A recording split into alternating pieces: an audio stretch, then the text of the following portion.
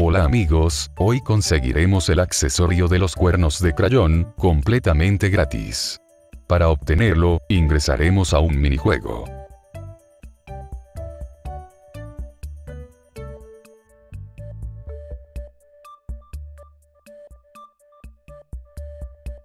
Luego al finalizar, nos salimos de la experiencia. Y al volver a entrar ya podremos reclamar nuestro accesorio.